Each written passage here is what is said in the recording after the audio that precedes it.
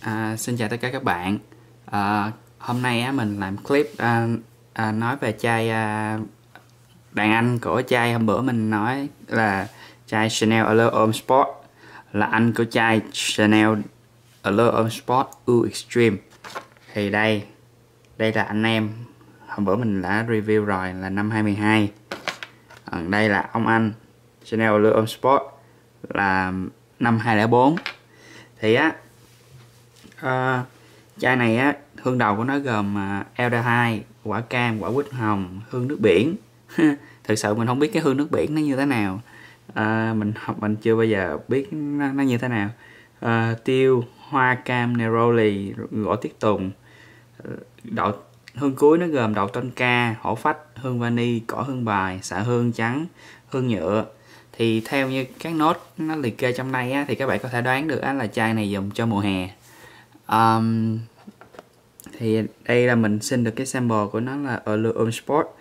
Thì uh, ngay từ lúc đầu mà khi mà các bạn xịt á thì các bạn sẽ nghe cái mùi chanh của nó rất là nhiều. Cái mùi trái nói chung là trái cây thì chanh rồi uh, cam rồi quýt này nọ đó nhiều lắm. Um, còn uh, uh, thì um, nó nói chung là chai này á nó um, dùng cho mùa hè thì à, à, điểm khác nhau của chai này với chai Allure Homme U Extreme á là chai kia um, nói về mùi hương trước đi ha. Nói về mùi hương á thì hai hai chai á à, bắt đầu bằng cái nốt đầu tiên là nốt cam chanh. Thì cái đó là rất là phổ biến trong cái bất cứ chai nước hoa nào hết á. Nhưng mà sau khi um, cái nốt hương đầu của mấy chai này nó bay đi á thì á cái chai này cái chai um, Allure Homme Sport 204 này đó nó vẫn còn nếp cam chanh tại vì cái nốt hương giữa của nó đó, nó còn nốt tiêu với nốt cam nữa hoa cam nữa cho nên nó nó đa phần nó về uh, cam chanh họ cam chanh nhiều. Còn chai Allure Homme Sport U Extreme á thì khi mà cái lớp cam chanh hôm bữa mình đã review là khi mà nó bay đi á thì các bạn sẽ nghe mùi bạc hà. Rất là phê mình rất là đây chai này là chai hai hai mươi à, hai mươi hai á rất là rất là phê mình rất là thích.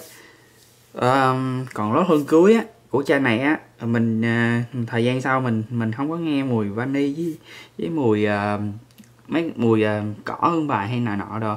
Chủ yếu là nghe mùi uh, uh, mùi cam chanh thôi. Từ đầu tới cuối thấy nó nó nó mặc dù nó bay đi nhưng mà vẫn còn mùi cam chanh thì uh, cái chai Allure Homme Sport này á là đa phần là cam chanh. Còn cái nó không có biến đổi nhiều cho lắm. Nó nó cái về khúc cuối nó ngọt ngọt chút xíu thôi. Nhưng mà cái chai này nó hay hơn cái chai U Extreme này hay hơn.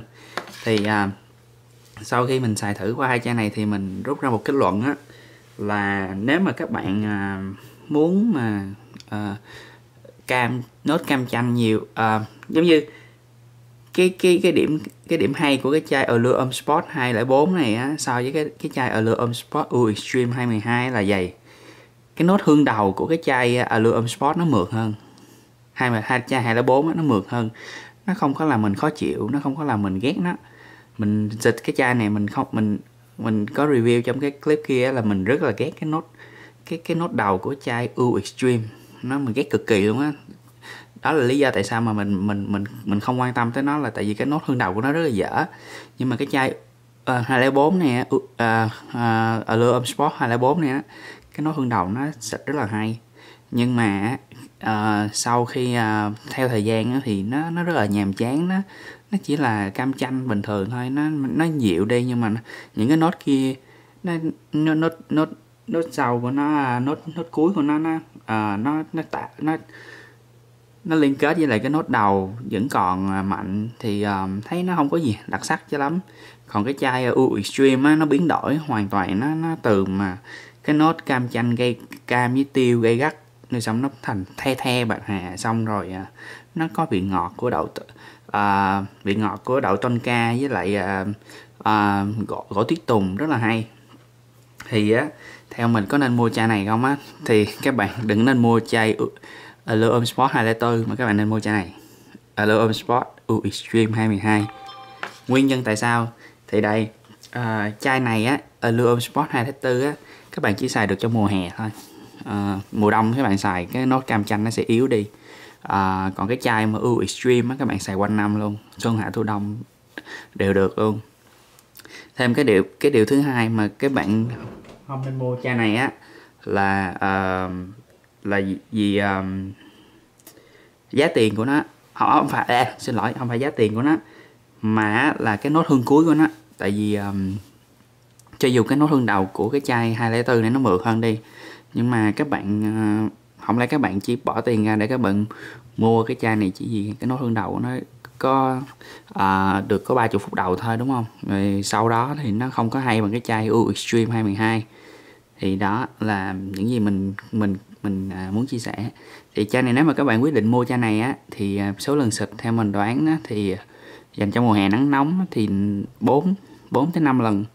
Thì um, hai bên vai hai mỗi bên một cái rồi sau gáy tay mỗi bên một cái với trước ngực một cái là đủ rồi.